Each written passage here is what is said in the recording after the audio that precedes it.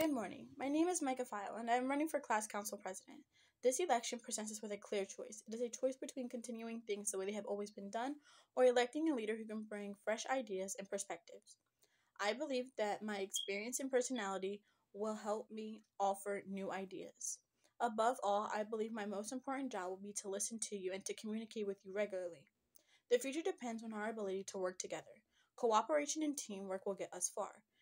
If you elect me as your class council president, I will vow to lead with openness and honesty. I will lead with your best interest in mind.